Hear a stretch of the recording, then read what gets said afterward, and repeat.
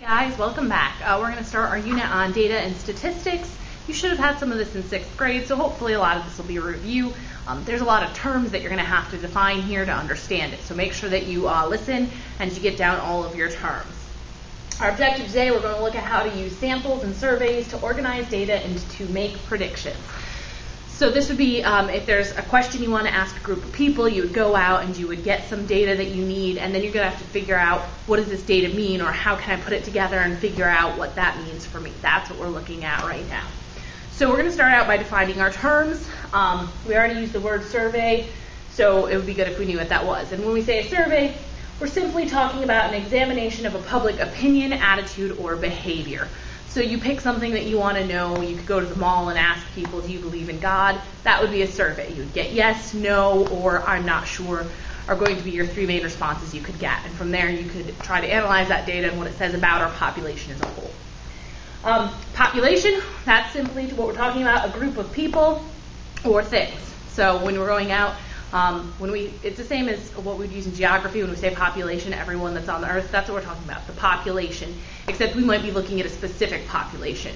If we were going to look at something um, for our school, the population would be all the people within the King's Christian School, that kind of idea. So population is just a large group of people. Um, from that population, what we're going to look at is just simply a sample. Um, and let me just put that back in case you missed that and I didn't move out of the way. There you go. Should give you enough time to pause it and get those if you missed them. Um, obviously, if we wanted to take uh, a sampling, uh, if we wanted to get some information, um, asking the entire population would be impossible. There's just too many people, that's too much data. So instead, we're going to use what we would call a sample, meaning a chosen section from the population, just a small part that we can use for our purposes to find out what it is that we want to know.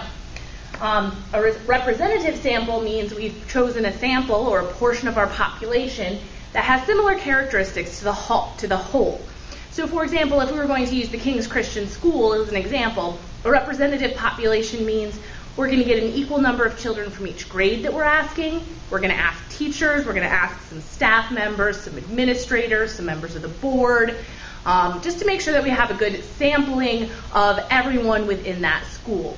So you'd want to make sure you have a few of each. That would be a good representative population, meaning I didn't just ask seventh graders or I didn't just ask teachers, because that's kind of a biased one, and we'll get to that word in a minute. Um, a random sample is simply a sample where everybody has an equal uh, amount of chance of being chosen. For example, a random sampling would be if I were to put everybody's name into a hat and pick a name at random to call on you. Very random. Everybody has an equal chance of being chosen for that Make sure you get those down. Um, another type of sampling we can have is what we would call convenient sampling, and it's exactly what it sounds like. I'm asking the people that are convenient to ask, the people who are right there and who are easy to get. So, for example, if I was going to take a convenient sampling, I might give all of you in my class, since you're stuck here and can't leave, um, the survey that I wanted answered. That was convenient for me. I didn't have to go anywhere. You were all right here. You have to do it so you don't fail. See? Convenient. Um, the other word that I just used, which was bias, uh, a bias is simply anything that favors a particular outcome. You can have biased questions. Um, a biased question would be, did you like the Hunger Games instead of maybe what's your favorite book? I'm already kind of giving you a suggestion as to what you might like. So anything that might kind of push a person towards a certain response, that would be what we call a bias, meaning we're favoring one outcome or we're leaning towards a certain outcome.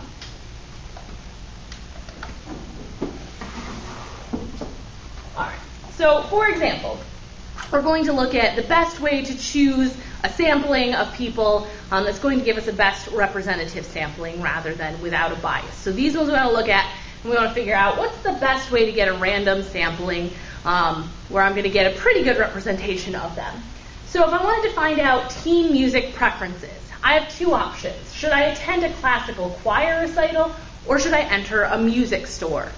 Well, if you think about this, here I'm going to wind up with a bias, right? If you're attending a classical choir recital, that probably means you like classical music. So this this question right here, or these uh, this sampling of my population, would give me a bias, and then I might say, oh well, lots of kids like classical music, which is not necessarily true, but the children who are in the classical choir like that. So my best bet to get a better, truer understanding of the music that they like would be to just stop at a music store. I'm not picking any specific genre. I'm not standing by the country music. I'm not standing here. Just as children or as teenagers enter this store, I'm going to ask them, what's your music preference? I'm not going to give options. I'm not going to say, hey, is country your favorite? Um, I don't want to give them a bias. So the best random sampling here, just randomly pick people in a music store. That'll give you a better idea of what everybody likes. All right, our second example.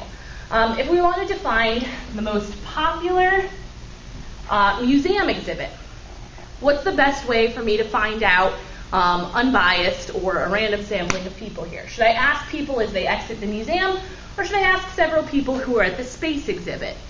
Well, uh, people are already at the space exhibit. That's probably something that they enjoy. So again, here we see a bias. Um, if I ask people who are at the space exhibit, even if it's not their favorite, they might be more likely to say that just because they're there.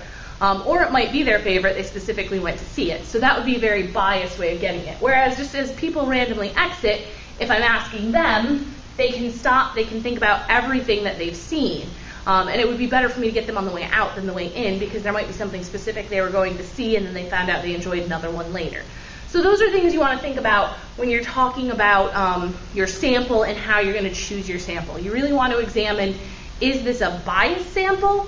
Are these people going to have a certain preference already? Or am I getting a truly random sampling? Because we want it to be representative because what we want to use that data for is to make predictions based on the information that we have. Right. Um, when we're getting that data, how are we going to collect that data? Well, there's a specific way that we want to go about collecting this data here. Um, one thing we can do is what we call a frequency table, and this is just a way that we're going to gather data, and I will show you what one looks like here. This simply shows the number of times each response was chosen, and don't worry, I'm going to flip back and forth between these two boards. So this is what a frequency chart would look like. Generically, you're going to put your title and your response in here. Whenever you're making any kind of chart, you always want to make sure that you have a title on it, okay? So the title or the question I was asking, then we're going to list our different options that we have over here. So here I've given you an example. The question was, should bicycle lanes be placed on most streets? Well, there's three responses they can have, yes, no, or I don't really care. So what I would do is I would just randomly go up and ask people, and as I got a response, I would just make a tally mark. Oh, this person said yes, I'll give them a tally mark. This person said who cares, I put a tally mark here. Another one said yes, one said no. So as you're asking, you're just making tally marks to keep track of who said what. That's the beginning part. I'll come back to that, don't worry. All right. But when we refer to frequency, uh, what we're talking about is the number of times uh, each response appears. So again, you'll notice if we look on the chart, I have one that says frequency. Now tally is really the same thing, but the tally is what I'm doing as I'm asking. So I'm not trying to keep a number in my head. I'm just making tally marks. So to get my frequency, all I'm doing is counting up my tallies when I'm done asking the question. So after I've completed this question, I'm going to count 5, 10, 15, 20, 25, 30, 35, 40, 45, 46, 47, 48. 48 people said yes. I count up my tallies. I see that 20 said no, and that 12 had no opinion on the subject. So that's the frequency. How many people said each response? That's our frequency. The last thing, um, and you might have seen it over on that chart, is called the cumulative frequency. The cumulative frequency is the running total of how many people I asked. That helps me know how many people I've asked altogether because really your best data, your most informative data, has lots and lots of information in it.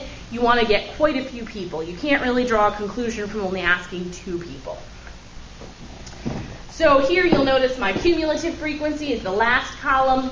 So I had 48 responses here. Now I'm adding the 20 to the 48 I already had. So at this point I had 68 people total responding, plus the 12 no opinion, which means I asked a total of 80 people should bicycle uh, lanes be placed on most streets. So based on this, we can then start to draw some conclusions, which we would call predicting our population response. So what we're going to do is we said we only have a small sample. I asked 80 people. That's obviously not an entire population. That's a sampling of a population. So based on the people I asked, what I want to do is predict how many people in the entire population would also go along with these ideas or agree with uh, the, the information that I got.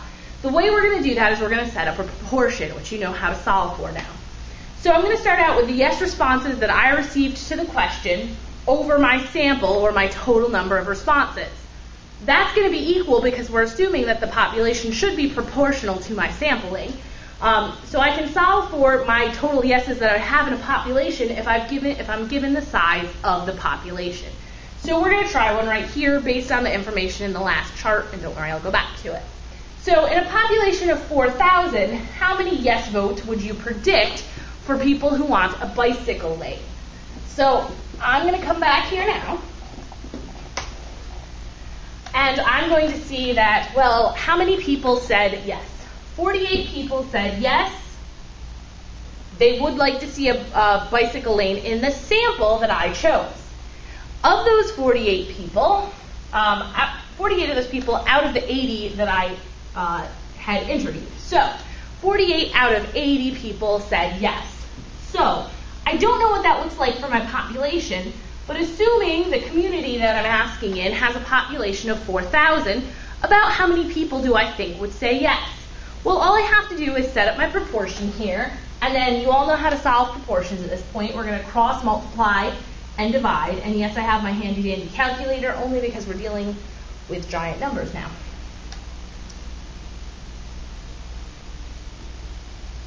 And then remember, we just divide by 80 so I would assume that there would be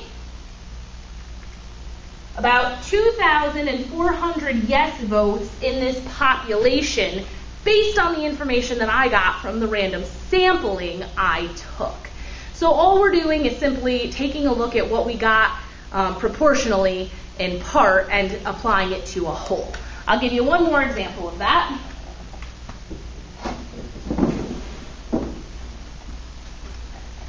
Um, so, in a random sample of 60 shoppers, so my sample size, my bottom number, we've asked 60 people while we were in the mall. Um, if in a random sample of 60 shoppers, 12 said they only buy sale items. So 12 out of 60 will only purchase something if it's on sale. If there are 3,000 shoppers at the mall today, obviously I'm not going to ask the mall. I don't have time for that. Um, predict how many are only going to buy sale items. So I'm setting up my proportion. What I do know from my sample, part to whole, part to whole for the population. So about how many do we think would then um, only buy sale? So again, we're going to cross multiply. Hey, if I can hit the right buttons. And then, actually, you know what? Probably could have done that one in my head. And I find that probably about 600 people um, in the mall, based on the information that I have, uh, are only going to buy sale items simply by solving my proportion. So we can use what we find out in our sampling to make predictions for what the whole population would do. Um, you can see where this could come in handy for life. Um, again, that's it for this video. If you're confused, go ahead and rewatch the video. If you have any questions, feel free to email me, ask me in class, post um, a question in the comments uh, under YouTube, uh, or even ask on your quiz. Have a great day.